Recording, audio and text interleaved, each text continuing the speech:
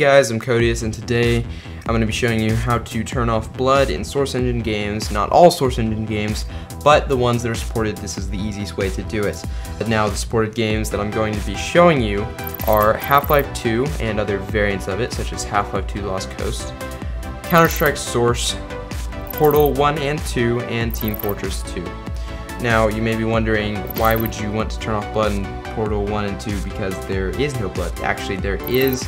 It's not very much at all. It's just when the turret shoots you, it has the same, you know, blood spattering effect on the wall, and if you just don't want to see that, then this is how to do it. Anyway, so before I get into this, I would like to list out some reasons that I've come up with for why you might want to do this. Now first, you might have younger siblings that uh, you don't want them to see blood because you know your parents might get mad at you, or even not just siblings, just younger children in the vicinity of the area, and you don't want them seeing that. That's a reason. Uh, another reason, probably more prevalent than the others, is your parents won't let you play the game in question due to the violence.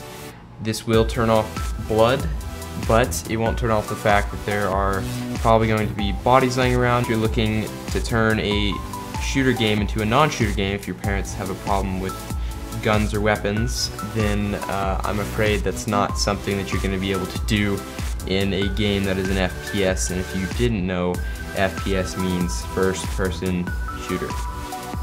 So, one more reason uh, you might personally not want to see such violence for whatever reason. Um, some of you may be like, what the heck, why am I even watching this? I don't really care at all and actually makes the gameplay better. Well, that's an opinion. Um, and I don't want to ramble on too much about this, but you're entitled to your opinion. With that being said, uh, let's get into it. So, first, obviously, open up Steam, go to your library, and find the game that you're going to do. For an example, I'm going to do Half-Life 2 because uh, basically this it works the same for all of the ones that I listed. And also, by the way, I do want to make known that there are, oh, let's delete that, um, okay, there are other ways, like there are other games that are supported. I'm sure, I'm pretty sure Left 4 Dead, those work with this. You'll have to experiment with yourself. But anyway, so this is how to do it. So, I didn't even tell you how to do that. I'm sorry, guys. Uh, right click on your game, go to properties, then under the general tab, you're gonna click set launch options. Now, I already set that there from my first take. Um, but anyway, so what you're gonna type is plus violence underscore a blood zero space plus violence underscore h blood zero. Now this turns off the functions in the game that uh, you know spatter blood and stuff on the walls. Now there is another alternative to this. You can, I'm not sure how supported this is, but you can do dash LV, which turns on low violence mode. And I'm pretty sure this achieves the same effect. It may do some other stuff, but you, uh, I encourage you to try both because they both, I know this one works and I'm pretty sure the other, uh, the other one works too. But anyway, so now that that is there, I'm going to launch up Half-Life 2. Alright, so uh, I'm in Half-Life 2 right now, I'm on a part a save that I had that I know there's enemies here, and we do have blood turned off in this. So I know there's some enemies, enemies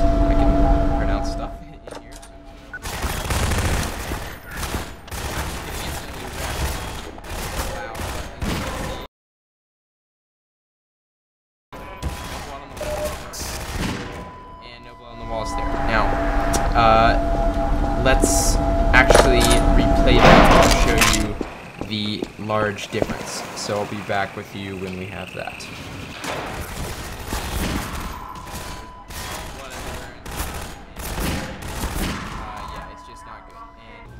Now, uh, let's go over some games that are popular that you can't do this method with. Counter-Strike Global Offensive. Uh, you can turn off the part to where they like...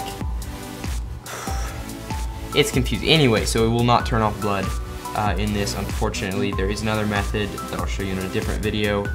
Uh, double Action Boogaloo, I don't even know if anybody plays this game. It was free and it's hard to explain, but it's a Source Engine game uh, and it's a shooter and that does not work. Fistful of Frags does not work. Uh, Garry's Mod does not work with this. There is another method that I'll show you in another video. It actually works really well. And that is just about it. So thanks for watching guys, and if you like this video, please leave a like if you would like to vent your feelings about how you think that turning blood off in game totally makes the gameplay like awful and you couldn't play it without it, then that's fine. Leave a comment. I love to hear your feedback and I'll, if you've got any questions too about any other games that are supported or not supported, please drop a comment and I'll do my best to help you. Also, I've got a website, finaleffectstudios.com. Uh, me and some other YouTubers that I know, namely Zack and Tim, or Flying Goomba Gaming and Epic Lego Mox, they both run channels. Zack does gaming stuff and Tim, or Epic Lego Mox, does he builds actually Lego replicas of guns that are really, really cool, and I suggest you go and check his channel out. Links to their channels will be in the description. But anyways, FinalEffectsStudios.com, we basically put all our content on there, and uh, so if you want to see all kinds of crazy stuff, just go there. And be sure to subscribe to their respective channels. Anyway, thanks for watching. This has been c0deous, and I'll see you in another video.